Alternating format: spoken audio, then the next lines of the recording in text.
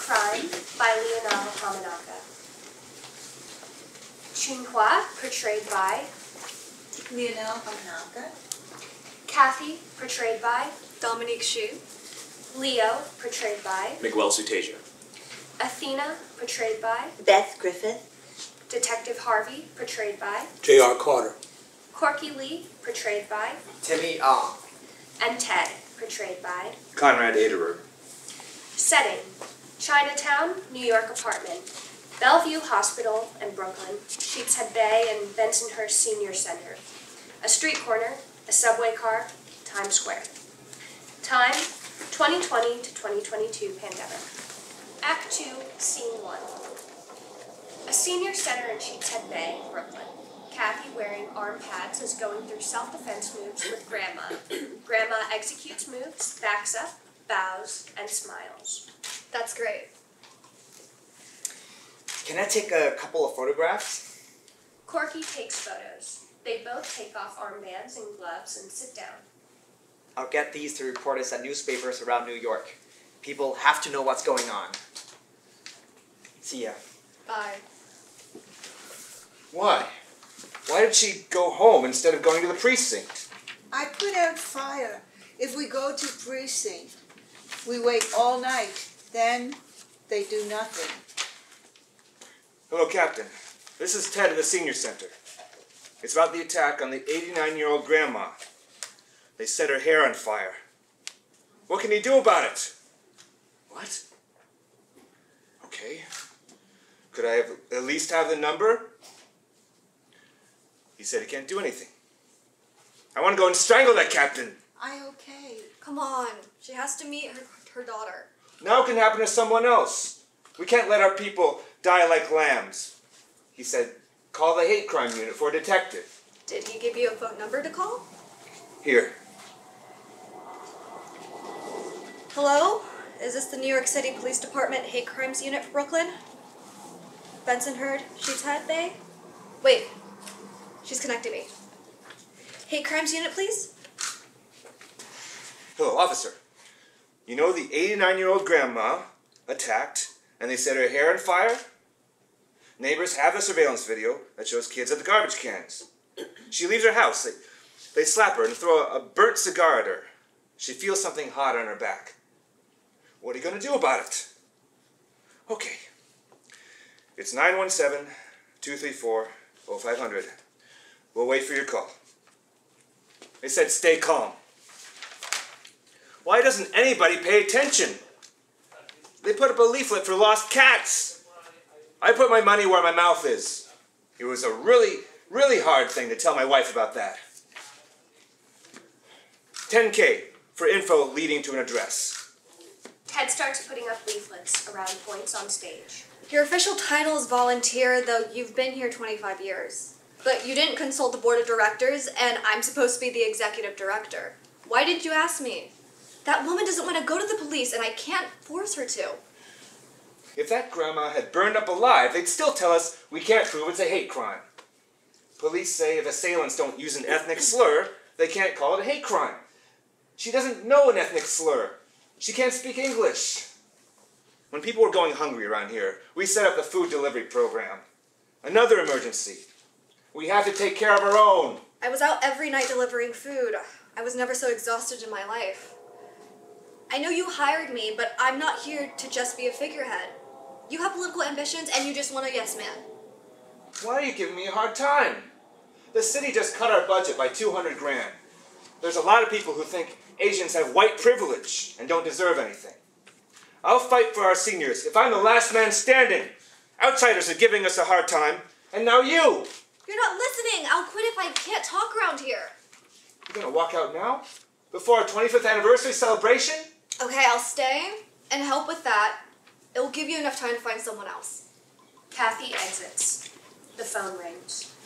Oh, Captain, you found the boys? They're 13 years old? They were remanded to family court. No ethnic slur was used. Family court. They go and get a slap on the wrist. Thanks for catching them, Captain. But what if it was your grandma? Scene two. Leo's house. Kathy sits on the sofa. Leo stands. So I quit. Sounds like a toxic environment. He wants you to take off in a fighter plane with him. Alone. Meanwhile, the immigrants at the senior center are afraid to do anything. You're in a catch 22. It's right before the 25th anniversary party. He got me to stay until then. Will you help me? As much as I can. I love a good show as much as anyone. Come with me to talk to Detective Harvey. He's in the hate crime unit task force. Crossfade to Detective Harvey's office. Kathy and Leo sit at his desk. I am so glad Dr. Leo brought you here to see me. I had to find out what the city's doing about these crimes. Look, if Grandma can't speak English, we have officers of Asian descent who volunteer to translate, so everybody gets understood and heard. If the case goes to court, we'll get a translator for her in court. They think they have no rights at all. Another thing, it's very important. If they're immigrants, officers are not allowed to ask them or disclose that. They're so afraid they won't believe me. They feel less than human. They know our race is discriminated here. Look, take this leaflet on hate crimes law. Talks about translators and immigration status and not being questioned. I told her you'd straighten it out. Thank you, Detective. You're welcome. I just wish I could tell all immigrants this. End of scene two. Scene three. The Senior Center's 25th anniversary celebration.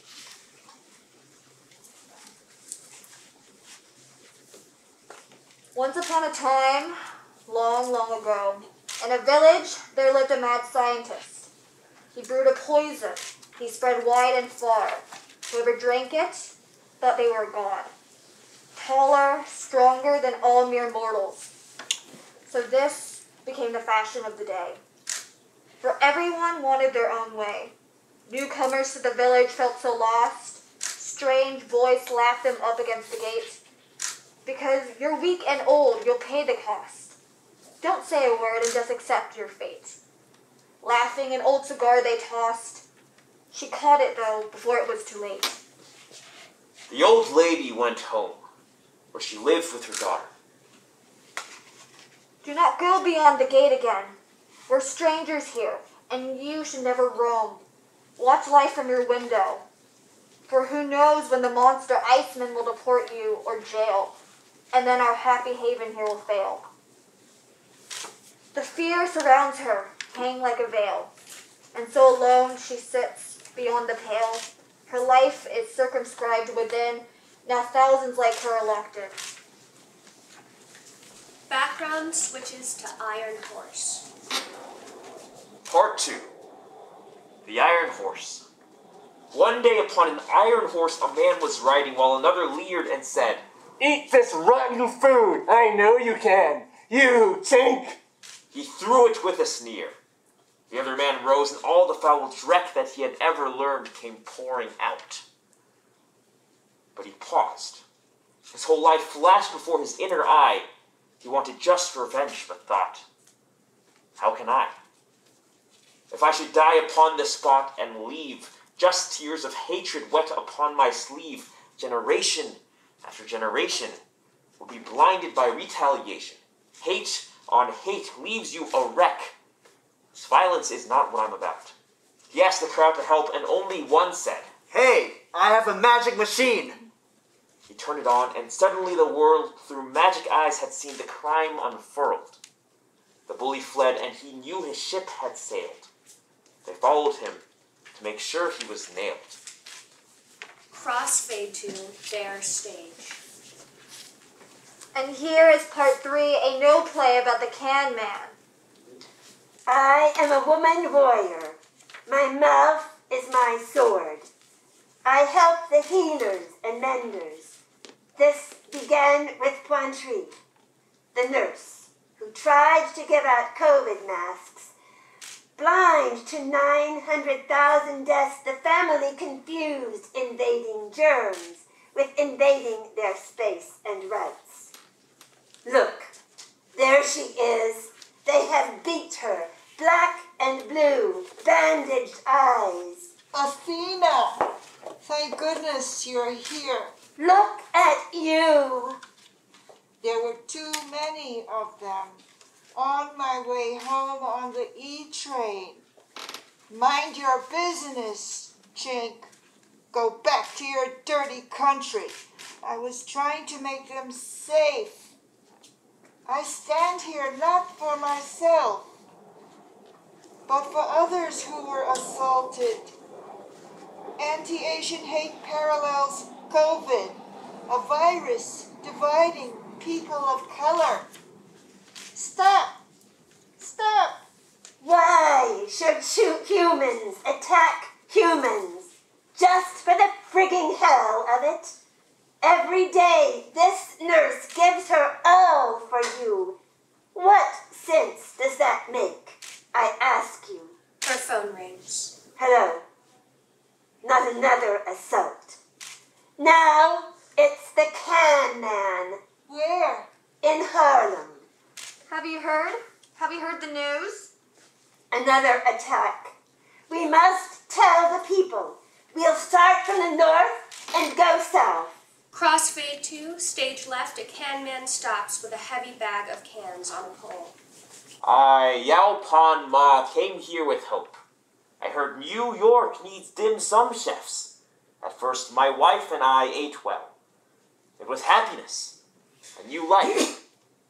I was cooking up a storm, and COVID threw me out of work. Now I carry cans day and night. Bitterness fills my mind. We moved in with relatives. We're strangers who got lost here. My former self is a ghost, but I still work for my money. I am faceless, cannot be tracked. Perhaps for that, the man attacked. Thank you for sharing this with me. We came to pray for the can man. Here, surrounded by Washington Heights, Quisqueya, the palace, abuelas, viejito, can you help me? There's so many cans on my back. How can someone with nothing help? Can you hear the people coming, marching with strong beat? I worked in the unions for 40 years, where the white, black, brown, Asian stuck together, all for one, wall to wall. My abuela said, in the old days, workers sent food and money, walked each other's picket lines. Poor, the divided will lose, only the bullies will win. Those who suffered racism in the past can't dole it out for others now. When will the lesson be learned? A house divided cannot stand. We're here, ready to travel. We came to help the can man. Hurry, hurry. We have passed the river Styx. You come too late. Too late. Too late. But we believe in miracles. March on. We'll see what we can see. At the People's Church in El Barrio. What memories. I was born here a long time ago. My people made these streets. We paused for a snack and a moment's rest.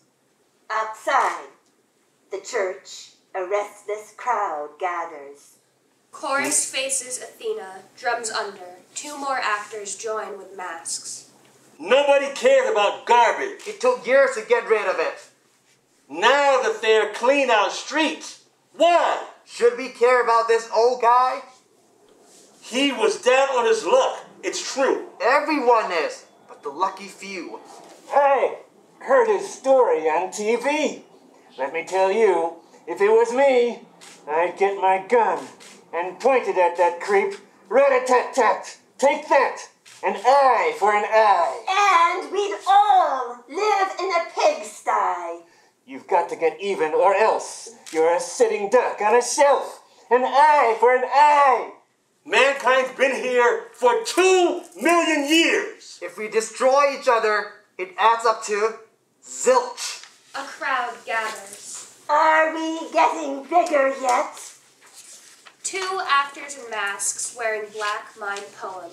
Scene of Can Man attacked from behind, falling. Athena and chorus reach 125th Street. The cast faces the audience. Remember that can man from before? He seemed at the edge of this world, as tattered dreams around him swirled. Was he just a ghost at death's door? He came as an omen. He is what our journey is about. No matter what, no matter how, we know we reap just as we sow.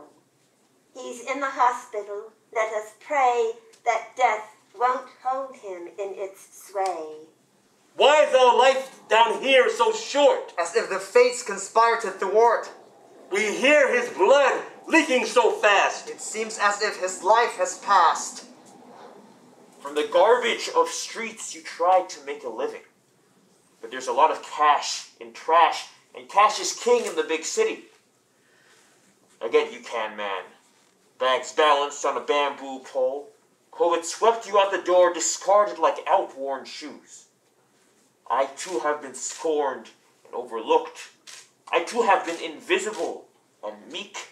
I too have turned the other cheek until I just ran out of cheeks, man. You need a hole that you can crawl into.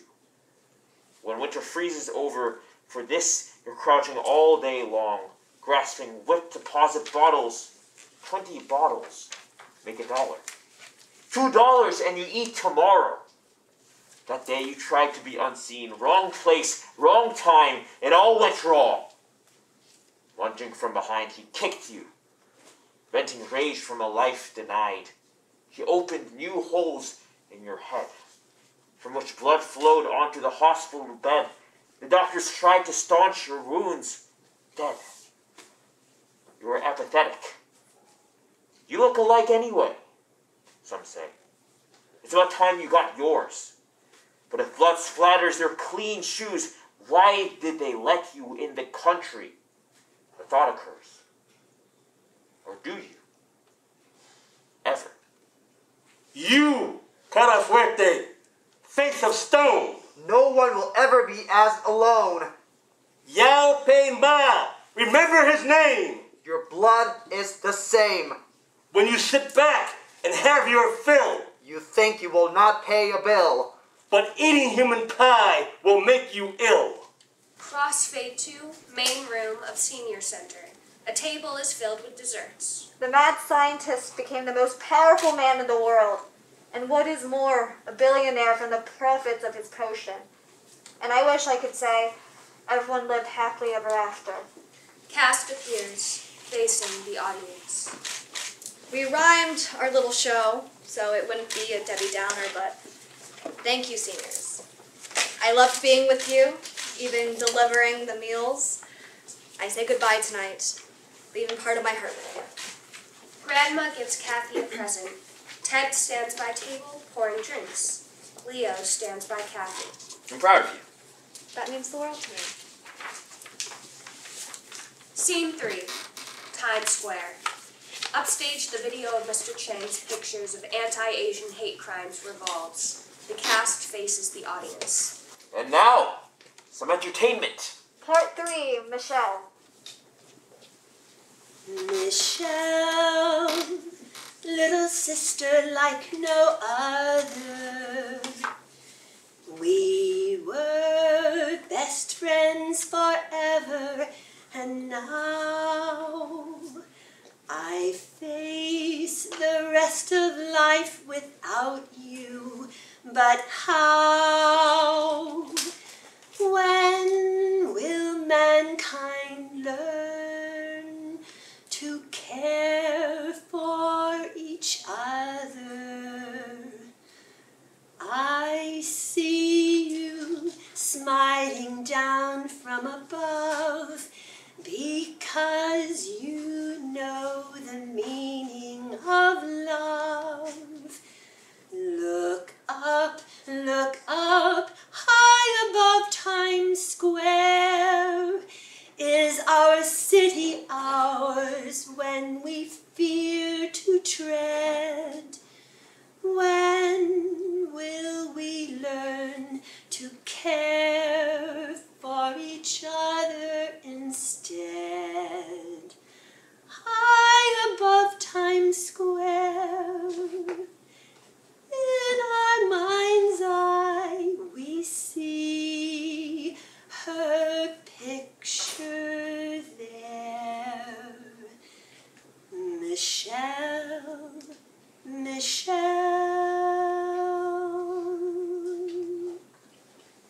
Singer exits. Kathy, Leo, Corky, and Ted gather impromptu. Hi, I'm Corky Lee. Our grandparents, daughters, wives, innocent people we loved have been attacked, even killed. Tonight, our community is standing up to say, no more! No, more! Enough! Enough! Kathy, say something. Excuse me. Excuse me. Before you leave, they say that Asian women are weak. They submit. I just wanted to get a word in for the small people. I'm a small person. That could have been me on the tracks. I exist.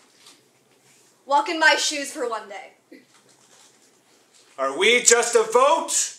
One million six hundred thousand ain't chump change.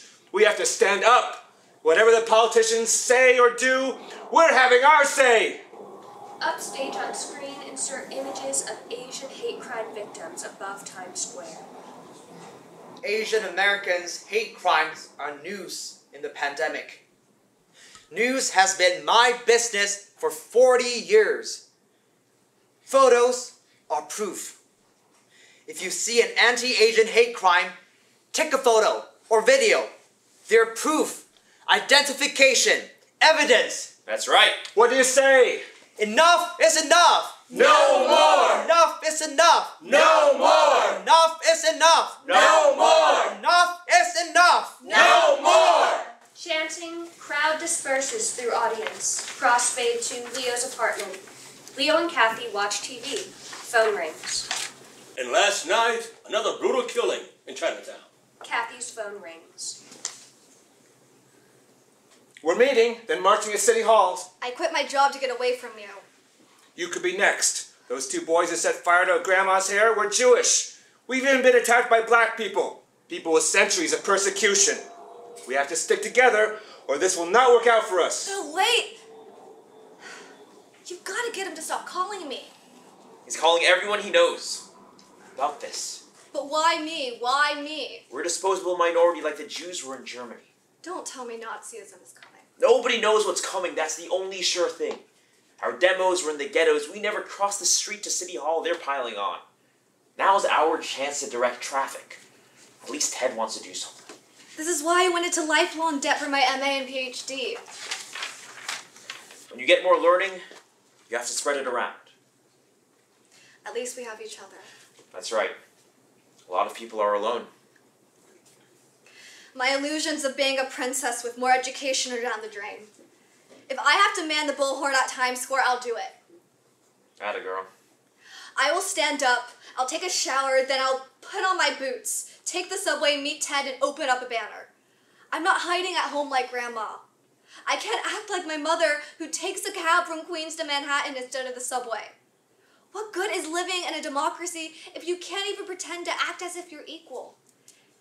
Even though strangers who may be insane want to kill you because they believe in racial slurs, even though nobody expects you to have any guts, even though everyone out there is programmed and expects you to roll over and play dead.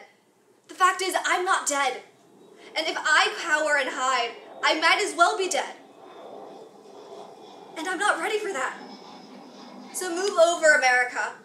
Even though you don't expect me and I wasn't invited to the party, I'm coming. And I'm getting a seat at the table. Hello, Ted? Bring ID. I'll be there.